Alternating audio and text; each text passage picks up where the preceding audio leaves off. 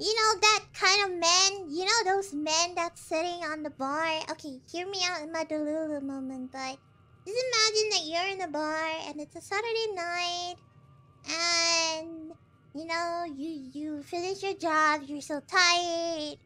You just want to have a drink, and you know you're just so tired of everything. And then you look over to the bar, and then you see this guy. He's just sitting over with a cup of whiskey. And his eyes look so lost. Like, you just go over and you're like, Hey, what's up, man? You okay? And he just look at you. And he just gives you the deepest, yeah. And you're like, I see, you have something tough going on with you, huh? And then he just starts talking. You're like, I see. You're a man with a few words.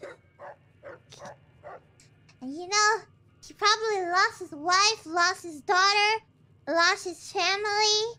You know, or or he probably um fallen fell in love with a with a with a chip lady that tell him he's enough, and then thought he had a whole family out there for him, and then realized that he's nothing but a machine created, implanted in false memory to search the truth? Yeah.